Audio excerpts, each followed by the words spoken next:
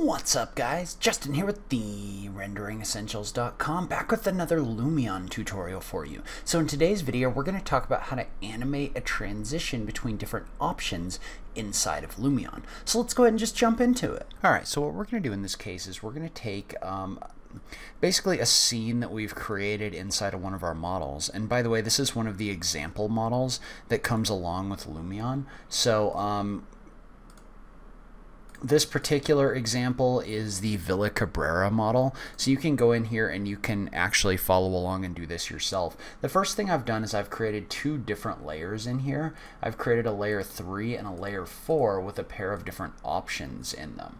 So um, because of that, and I have one object that needs to be moved onto this other layer, there we go. So now I can switch between the two options just by swapping these layer visibilities. Now we'll link to a video down below showing you how to do that. But what we want to do now is we want to create a video that kind of transitions between the different options. And this is something I talked about last week. It was based on a blog post on Lumion's website where they've got kind of this animated transition going on. I can't figure out how to do exactly this transition inside of Lumion without some kind of a video um, program to really kind of animate those transitions differently, but I am going to show you a way to create an animation where you transition between a couple different options. If anyone knows how to do exactly this in Lumion, leave a comment down below and let me know.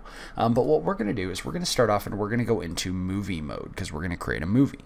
And so we're going to go into movie mode and what we need to do is we need to set up our different scenes. But the first thing I want to do, because I don't want to delete out all of these, uh, all of these default views that are in here, I don't want to I don't want to delete out all of these clips because I like these and I may want to keep them. And so what we want to do is we want to create a new clip set.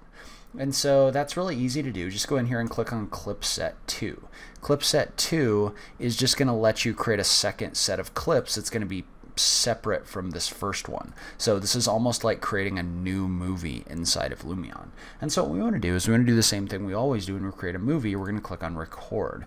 And we're going to start off and we need to set our camera views for our transitions. So for this one, we're going to take our camera view, maybe open up our focal length just a little bit, um, something like this maybe. And we're just going to animate a very simple transition, maybe between this view and something like this.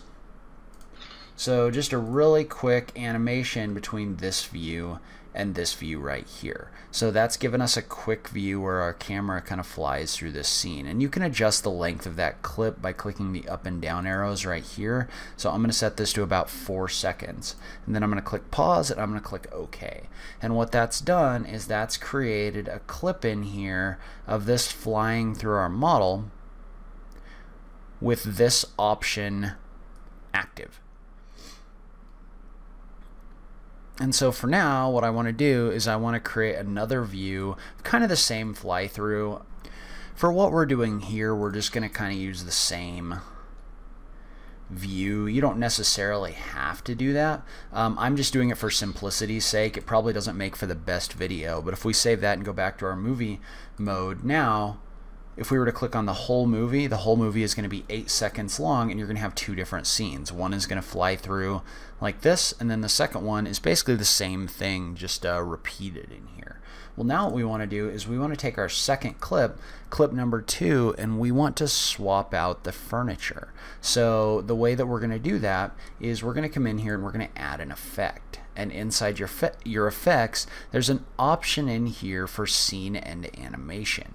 And so scene and animation is going to allow you to click on this button for layer visibility and so what layer visibility is going to do is it's going to allow you to adjust which layers are visible and so you can see how when you first pull this up and we're in our second clip um, it's not going to let you click on any of these different layers so you can see how this right here is representative of all the layers I have inside of Lumion well, what we want to do is we want to set this up so in this clip a different set of layers is visible. And so in order to do that we need to start off and we need to create a keyframe.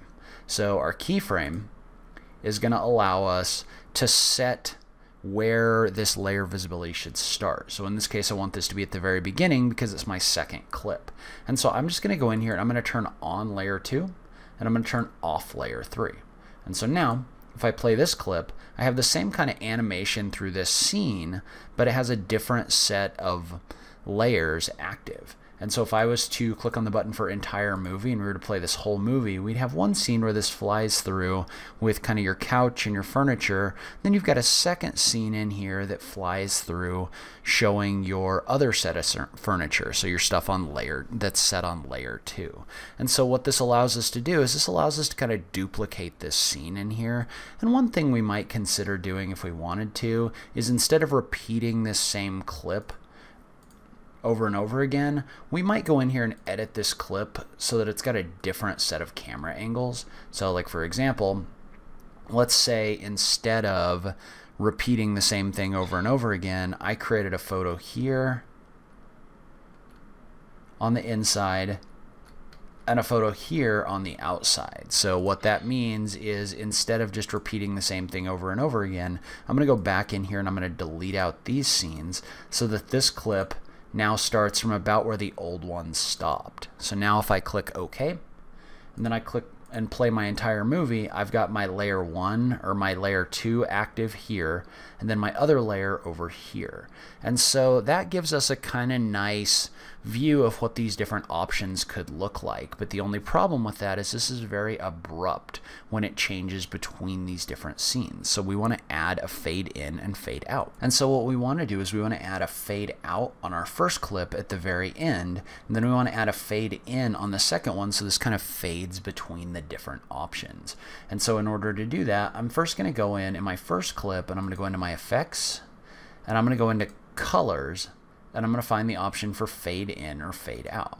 And so what fade in or fade out is going to do is that's going to let us set the duration of this fade. So you can see how right now in this first clip, it fades in in the beginning and then it fades out at the end. So you can see how this gives us kind of a nice transition into and out of our scene. And then we do the, sec the same thing on the second clip where we'd add a fade in or out there. So now if we were to play the whole movie, this fades in, then it's going to fade out for the first clip, and it's going to fade back in on that second option right here. So what that allows us to do is smoothly fade between the two options right in here. And one thing I don't necessarily like about this is I don't like it fading to black between them. And so what I'm going to do is I'm going to adjust those fade in and outs so that they fade as kind of a blur rather than a black.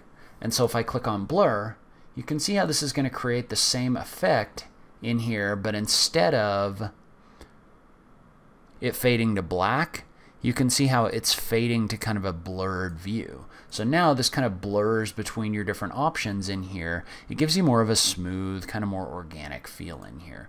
The other thing I don't necessarily want is I don't want a big fade out on this one. So I'm going to take the out duration and I'm just going to set that to zero. So now at the end of this second clip, it's not actually going to fade out like it was before. It's just going to kind of stop. And so the other thing I might do is I might reduce the length of the transition between these two scenes because you can see how this gives you actually a pretty long transition between these two scenes.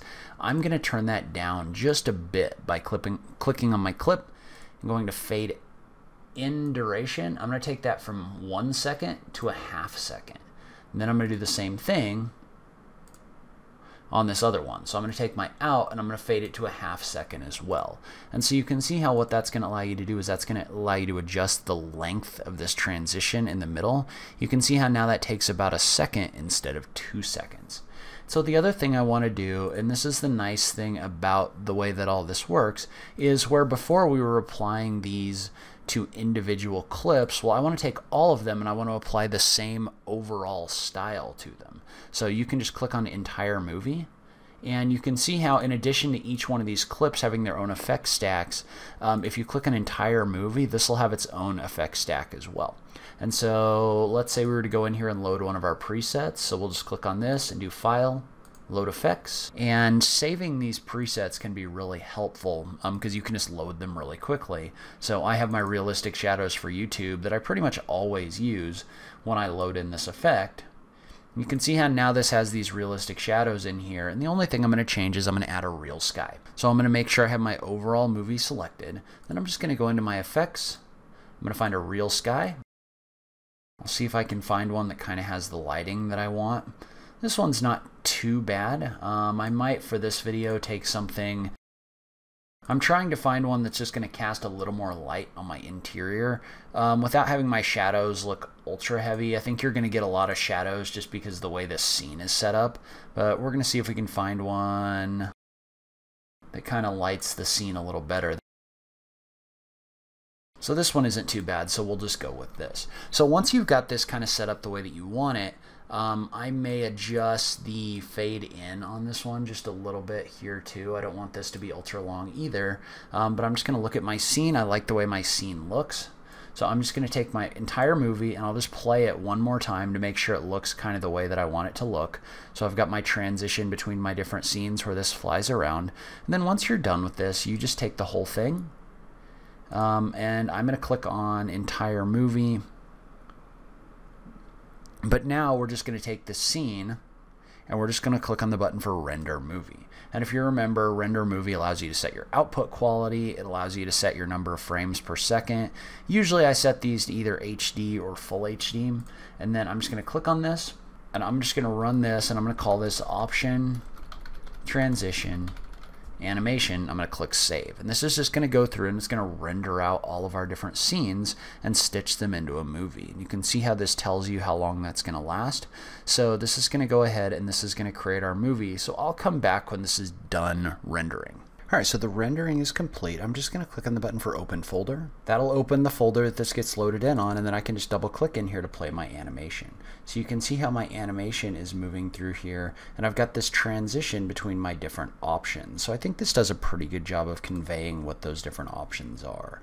And you know, this is something where I might go through and maybe adjust the length or something like this, but overall I think this gives you a pretty good idea of how you can take an animation that transitions between different options and create that easily inside of Lumion. So that's where I'm going to end this video. Leave a comment below and let me know what you thought. Was this helpful to you? Have you created animations like this in Lumion before? I just love having that conversation with you guys. If you like this video, please remember to click that like button down below. If you're new around here, remember to click that subscribe button for new rendering content every week. As always, thank you so much for taking the time to watch this. I really appreciate it, and I will catch you in the next video. Thanks, guys.